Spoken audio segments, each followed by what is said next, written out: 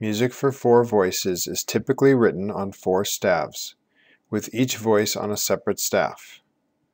This is called an open score.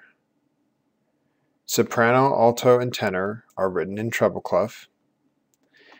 Tenor has a small 8 placed under the treble clef, which means they're going to be singing an octave lower than written. And bass is of course written in bass clef.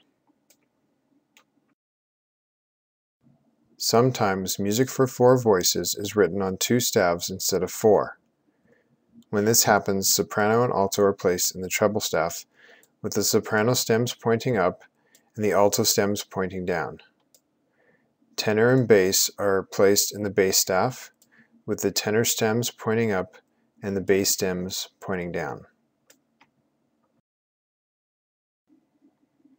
This reduction is called a short score and is done to save space. It also makes it easier for a pianist to read.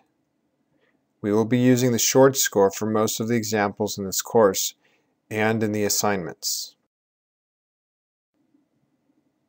One final thing. We call the soprano and the bass the outer voices. We call the alto and the tenor the inner voices.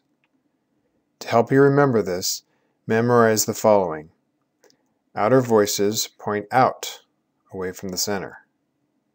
Inner voices point in, towards the center.